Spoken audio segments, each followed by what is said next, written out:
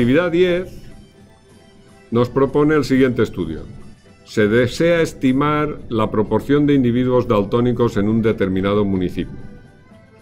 Para esto, se tomó una muestra aleatoria de 64 individuos de ese municipio y el porcentaje de daltónicos que encontramos fue del 35%.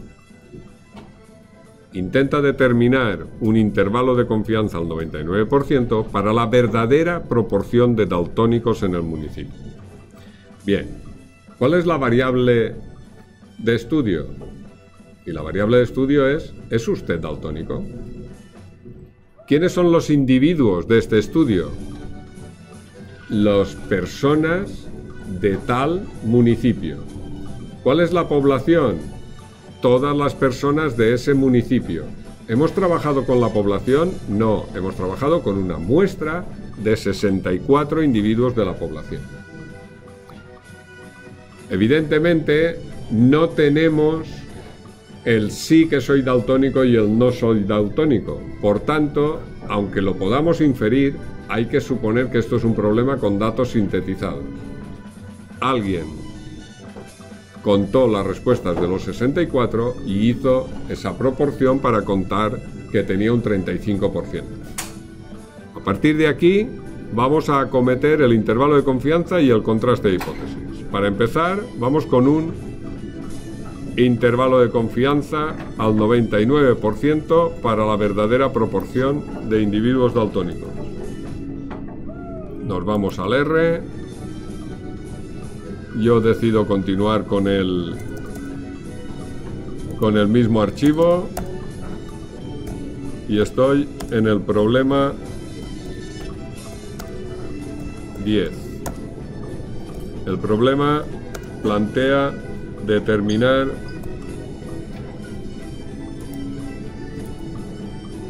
un intervalo de confianza.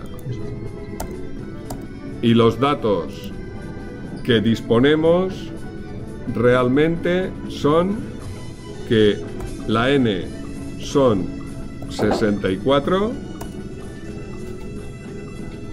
que la p gorro porque no es X barra, esto no es media, esto es proporción. Que la proporción estimada ha sido de punto 35 y no hay más. Un intervalo de confianza para la para una proporción exige reconocer la fórmula. Pues nos vamos a las tablas y buscamos un intervalo de confianza.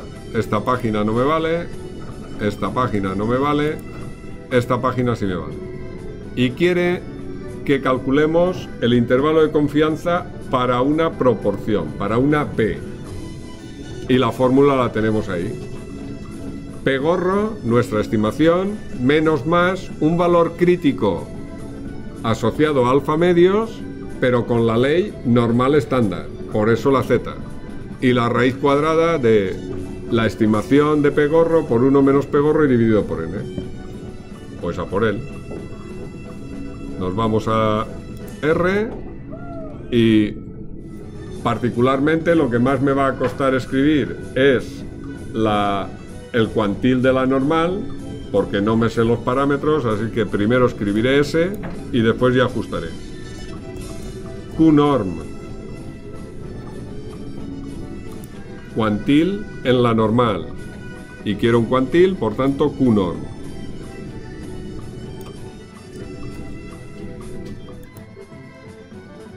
Control V. Inicio y empezamos a estudiar lo que tenemos aquí. Cuantil de una P.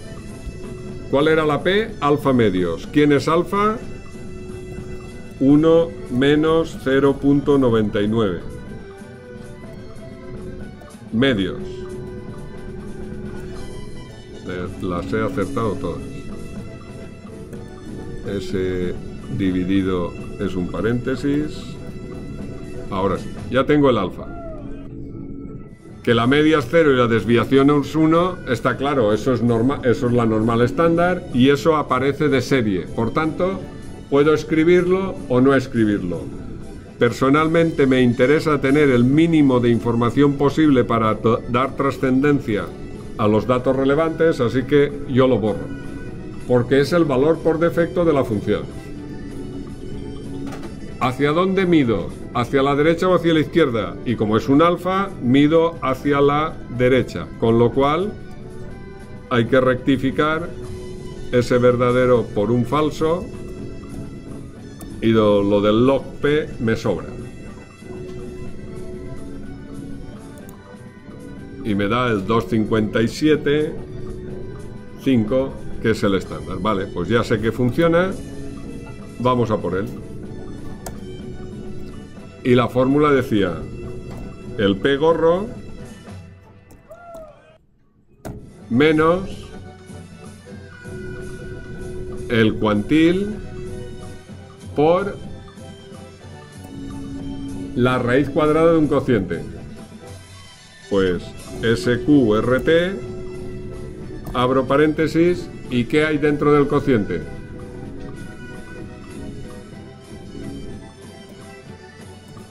P gorro por paréntesis 1 menos P gorro, cierro paréntesis, dividido por n.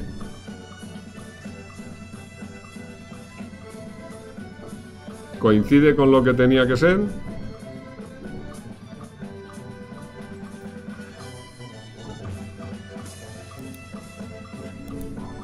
Revisemos. P gorro por 1 menos P gorro, todo dividido por n y todo dentro de una raíz cuadrada.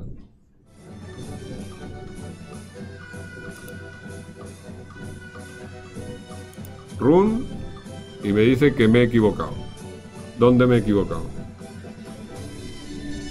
Ah, es que he escrito la N y el P gorro y no lo he cargado en memoria. Es que estar escrito en, la en el script no significa que el ordenador lo posea.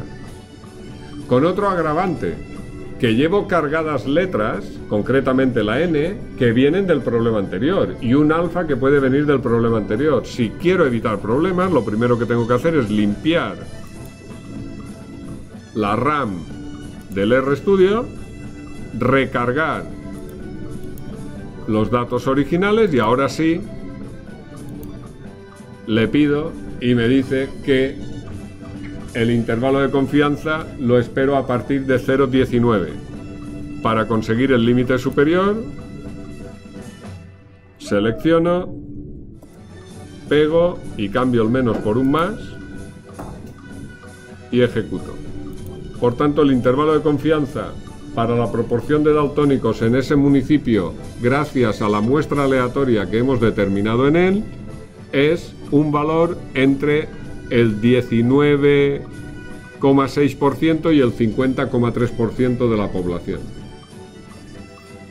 Con esto habríamos calculado el intervalo de confianza y la siguiente cuestión es entrar a calcular el contraste. Si estáis teniendo errores en el cálculo, os recuerdo que debéis de repasar Primero, qué cosas hay en la variable del sistema, por si acaso alguna de las variables que estáis intentando utilizar no está. Segunda cosa, que cuando la hayas cargado P gorro fueran minúsculos y ahora estés utilizando una P en mayúscula o cualquier cosa de ese tipo. Son los errores habituales cuando jugamos con RStudio. Nos proponemos realizar el contraste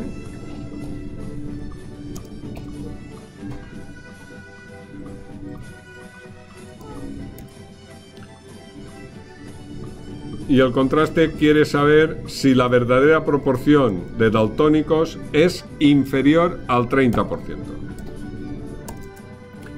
En términos de modelización matemática, hay que decidir quién es H0 y hay que decidir quién es H1. ¿Qué argumento iba a ayudarnos a tomar la decisión de si la información era H0 o H1? Pues la clave está en si la información incluye la igualdad. Si incluye la igualdad ha de ser H0, si no incluye la igualdad es H1. Y la frase literal era contrastar si la proporción real de daltónicos es inferior al 30%. Con lo cual, me están informando de H0, de que P sea menor que 30, ¿no? No, 0.30. Pronunciamos 30%, pero la proporción siempre tiene que estar en tanto por uno. Con lo cual, la hipótesis nula es que la P es mayor o igual que 0.3. Con el contraste identificado, lo único que queda es localizar el algoritmo. Y queremos una proporción. Aquí tenemos la hipótesis nula, la P menor o igual que P sub 0 esta es nuestra situación. ¿Estamos en esta situación? No. Intentad ayudarme a mantener la concentración.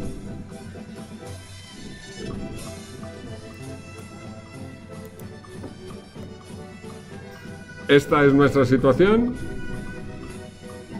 H0P mayor o igual que P sub 0.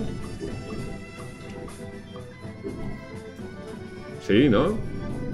Nuestra H0 no era P menor o igual que 30, o era mayor o igual que 30, mayor o igual que 30, que es esto de aquí. Esa es la H0. Por tanto, nuestro estadístico es ese cociente y nuestra región crítica es desde menos infinito hasta menos el valor, el cuantil en una normal 0,1, ¿vale? A menos ese cuantil. Pues nada, vamos a por él. Pegorro menos hipótesis dividido hipótesis por 1 menos hipótesis dividido n dentro de una raíz cuadrada. Vale. Por tanto, nuestro estadístico es hipótesis, eh, estimación menos hipótesis dividido por la raíz cuadrada de una división en la que participa la hipótesis por 1 menos la hipótesis y todo eso dividido por la n. Lo tengo. y me sale un estadístico de 0,87. Para hacernos con el valor con la región crítica,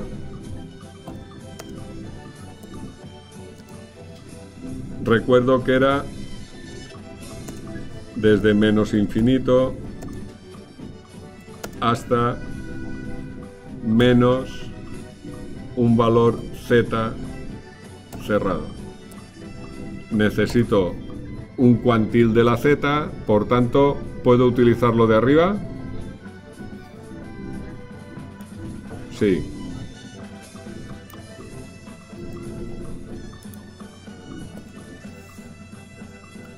¿Con qué nivel de significación quieren que trabajemos ahora? Con el... Vale. Por tanto, ese va a ser nuestro alfa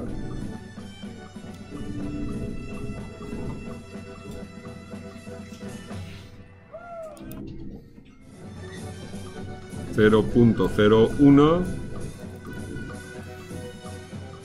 había que dividir entre dos. Era z alfa o z alfa medios z alfa. Por tanto el dividido entre dos fuera es un alfa medimos a la derecha ejecutamos y me sale 232 con lo cual la región crítica que acabo de estimar es desde menos infinito hasta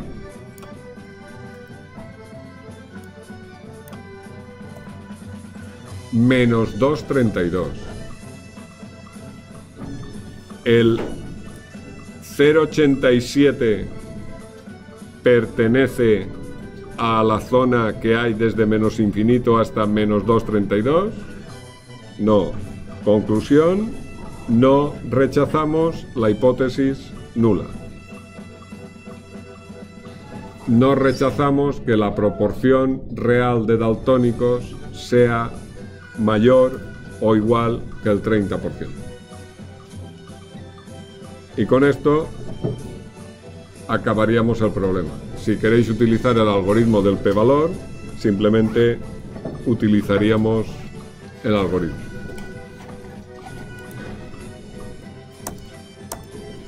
Existe una función diseñada directamente para calcular trabajo contra proporciones, pero la función que aparece implementada en RStudio no utiliza la modelización de la normal estándar, utiliza la modelización de chi cuadrado y por tanto hay diferencias en los valores que determina. Con lo cual lo más fiable es utilizar el algoritmo que nuestras tablas proponen. A la UMH treballem per a construir la Universitat del Futur.